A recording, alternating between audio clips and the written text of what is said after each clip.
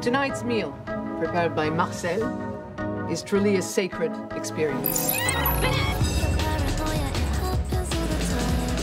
If you are here, it is because I know you appreciate and revere life's most beautiful experiences.